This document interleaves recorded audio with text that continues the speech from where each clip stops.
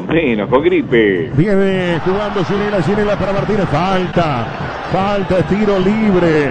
Tiro libre para Nacional de pierna derecha. Va a colocar el centro ahora el conjunto tricolor.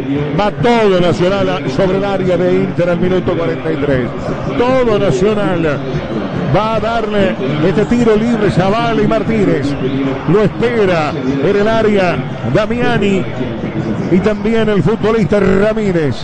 Espera yendo Noguera, yendo también Polenta. Todo Nacional salvo Lozano, porque Inter bajó todo, entonces le dio la posibilidad de que los tricolores vayan sobre el área en busca de lo que es el empate. Preparen esas gargantas tricolores en el país. Se busca el empate por la Copa Libertadores. Sería importante para Nacional también en su futuro.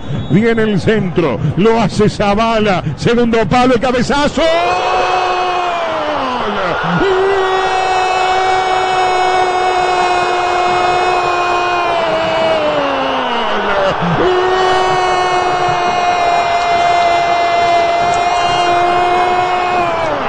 De Nacional, Damiani, con un golpe de cabeza cambiando la dirección, un cabezazo extraordinario, no llegó el arquero John y Bruno Damiani con un gol para decretar el empate.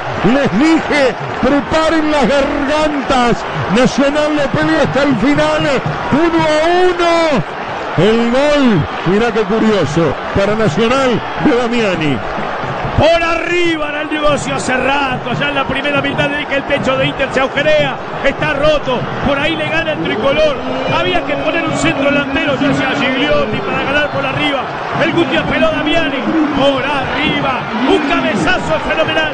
De este equipo que nunca da por perdida la contienda. De este equipo que siempre entrega mucho.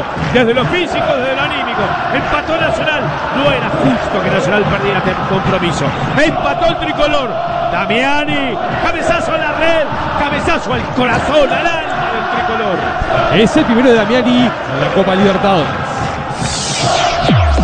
Vamos que vamos. El fútbol país.